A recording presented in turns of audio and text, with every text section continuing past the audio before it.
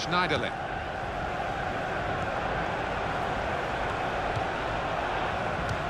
Now, This could be a chance. Wayne Rooney, he scored.